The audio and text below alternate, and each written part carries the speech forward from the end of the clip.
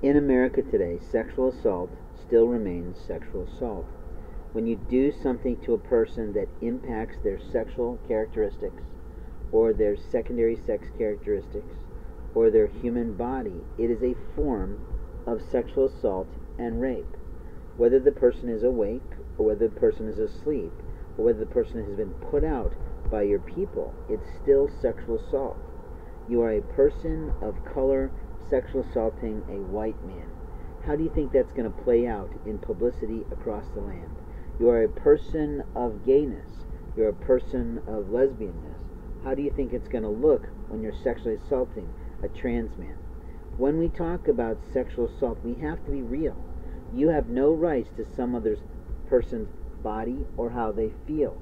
Your life is your life. And the minute you crossed your line and crossed the line as a police officer in a position of power and authority and decided to put somebody in an infil- infiltration cell so that you could be the only ones to enter in while they're asleep or the only ones to provide them food, then you ruined your own life. Not only did you ruin your life before the Lord God in heaven, you played with a human life. And then you didn't stop. That person left, they did their time, they served their sentence, they handled the crime that was launched against them by a female judge who just wanted to teach a moral lesson. And that woman may never get out of hell when she dies. You see, she was completely wrong in everything she did. She utterly obliterated a human life with the help of gay female officers. Matronly, fat ass dykes.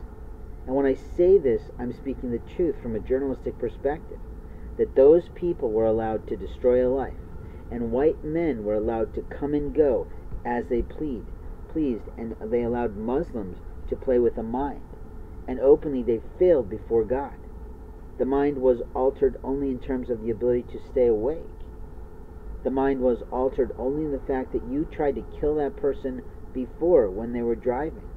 Your jealousy of education, your jealousy of intelligence, your jealousy of a life that you've never lived caught you before God.